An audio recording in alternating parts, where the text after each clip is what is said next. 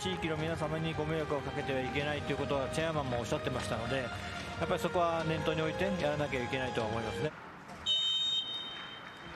前半が始まりました。左にエンドを取っているのが仙台。右が神戸です、うん、変化をつけてきました、うん、マイナス。パラのシュートはコントロールショットになりましたが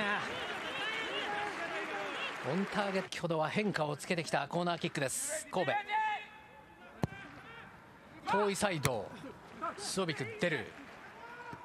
競って落ちたところ前を向いてこのボールを抑えた、うん、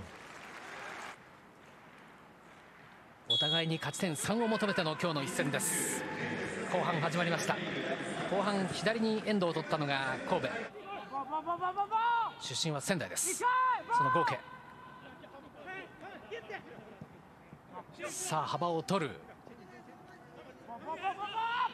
中に入れてきた速いボール。これが決まった。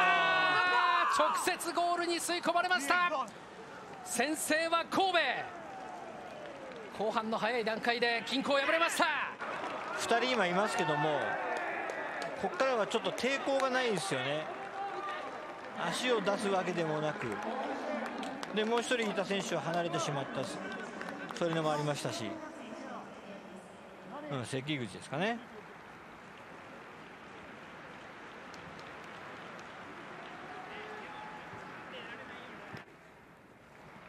さあここ中央。藤本足元へというジェスチャーを見せましたが1回左古橋。フラッシュカットして中藤本奥へドグラス。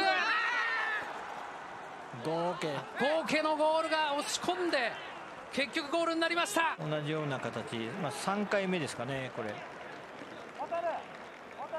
でまあ、ボールも非常に良かったですし、まあ、あとはニアサイドを1人走ったことによって相手の目線がそこに行くと。で合計は一番遠いサイドからなので、まあ、パラとしても視野から外れたところから出てきているまあ、ゴール的にはニアでもね藤本が来てますし。まあ、やはりやっぱり改善していかないと。ここで一体感がなくなってしまっては本当にバラバラになるだけですからね。2点を追う仙台。ここは長さは届かず。あここ長沢シュート。1点返しました。4試合得点がなかった仙台。5試合ぶりにゴールを決めました。これで1点差。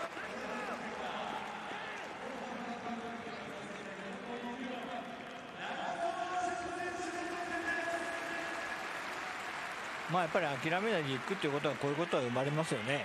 はい。いやちょっと勇気づけられる得点じゃないですか。ね立て続けに2点取られた後すぐ返せましたから。ここをフラッシュが奪う。いい出足。切り返す。中送って今度はドーグラス。ブロック。ここはよく弾いたスオビクビッグセーブ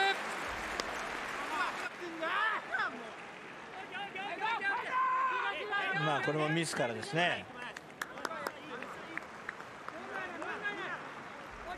まあまあ、ちょっと思いますけどこういうビッグセーブをしてくれた、はい、まあ、当然ミスもあるとは思いますけど中央速いボール長澤すらせシュートはポスト田中純也ですねやっぱり。田中のシュートまた折り返す。すごいシュートでしたね。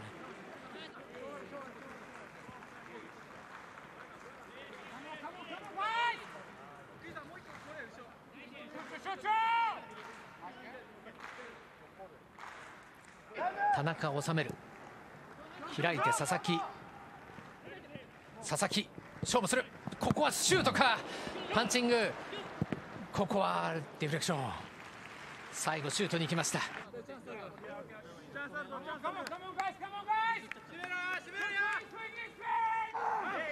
あ一人選手が倒れている仙台。ボールはつないでいる。中に入れた。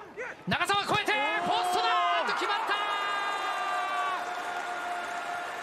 飯尾が押し込みました同点です値千金の同点弾、まあ、そのまま続けてちょっと神戸も集中がするのがすごく難しかったと思いますね。まあでもいいよ気持ちが乗り移りましたね。はい。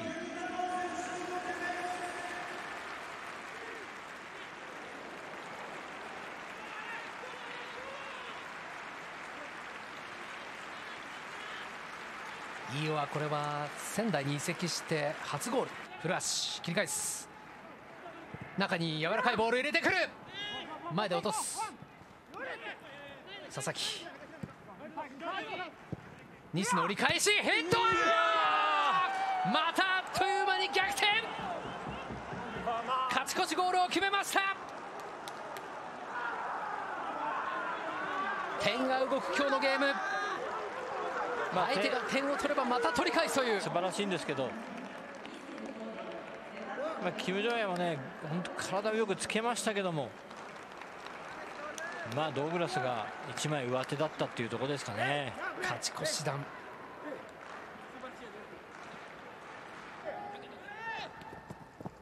キープする時間。ああすごい。ここで試合終了の笛が響きました。点の取り合いを制したのは神戸